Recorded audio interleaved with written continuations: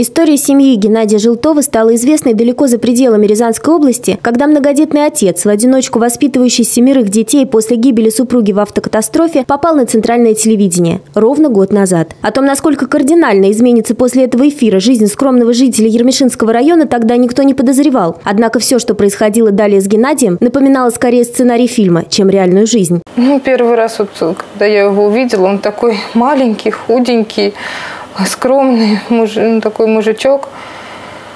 А, он сам бы никогда не заварил вот эту кашу. Это все благодаря его вот, э, получается, теперь уже вдове Марине мы узнали о нем и приехали. Сам бы он ни за что бы не позвонил, не попросил помощи он э, как-то привык собственными силами справляться и был очень скромен и не любил вот этой вот все огласки. Отзывчивых людей, готовых помочь семье Желтова, во всей стране оказалось удивительно много. Из разных городов звонили, присылали детские вещи, канцтовары, игрушки, деньги в стремлении помочь скромному многодетному отцу-одиночке. Кроме того, в скором времени семья должна была переехать в новый дом в Сасово, пока не случилась трагедия. Февральской ночью в старом доме, где пока проживали Желтовы, случился пожар. Уже выяснилось, что причиной возгорания стала короткая короткое замыкание. Как будто какой-то злой рок на эту семью обрушился.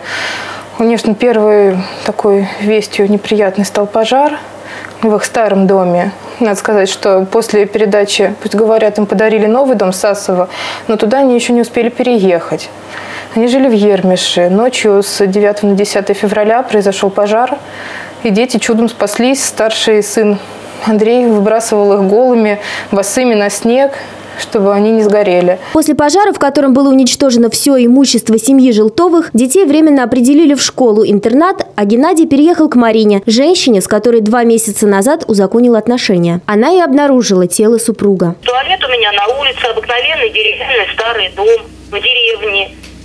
В халате в домашнем в шлюпках. Ну куда? Он в туалете обычно утром сидит. Ну вот ровно 15 вышло, что-то долго нету его. Вышла Гена, Гена, ни в туалете нету, нигде нету. Забежала в сарай. Нет, там вот из пожара, от пожара. Ну, он все жилетки, может, какие ему надо. Ну, не понимаю, он все мотоцикл там чинил. А там висит. По словам Марины, Геннадий крайне тяжело переносил общественные пересуды и очень переживал из-за негативных комментариев в интернете, где анонимные пользователи осуждали семью Желтовых и обвиняли его самого в аморальном образе жизни. Это людская зависть, во-первых, вот эти сплетни. Э, а сейчас сгорело все. И вот в интернете после этого, после пожара, я ее вносила, я уже и прятала этот э, компьютер. Он всеми ночами сидел, эти комментарии читал. По данному факту Сасовским межрайонным следственным отделом Следственного управления Следственного комитета Российской Федерации по Рязанской области организована и проводится проверка. Следователями уже проведен осмотр места происшествия, назначены необходимые судебные экспертизы. Также будут устанавливаться все обстоятельства гибели мужчины. По результатам процессуальной проверки будет принято законно обоснованное решение. Вдова Геннадия Марина не может установить детей. Официально она безработная. Губернатор Рязанской области Олег Ковалев поручил организовать и оказать всю необходимую помощь детям из семьи Желтовых, которые остались без отца. Руководителям министерств, входящих в социальный блок правительства региона, уполномоченному по правам ребенка Екатерине Мухиной и главе администрации Ермешинского муниципального района.